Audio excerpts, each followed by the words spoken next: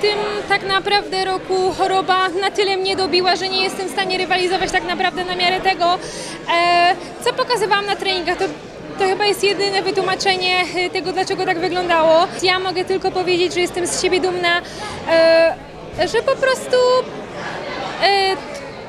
tu jestem, że dostałam taką szansę, że mogę startować i mam nadzieję, że już ten pech i to wszystko, co się w ostatnich właśnie miesiącach w moim życiu działo, mam nadzieję, że to zostanie e, odczarowane na sezon właśnie olimpijski, bo no, będzie to najważniejszy sezon. Ja wiem, co wytrenowałam i wiem, na co mnie stać.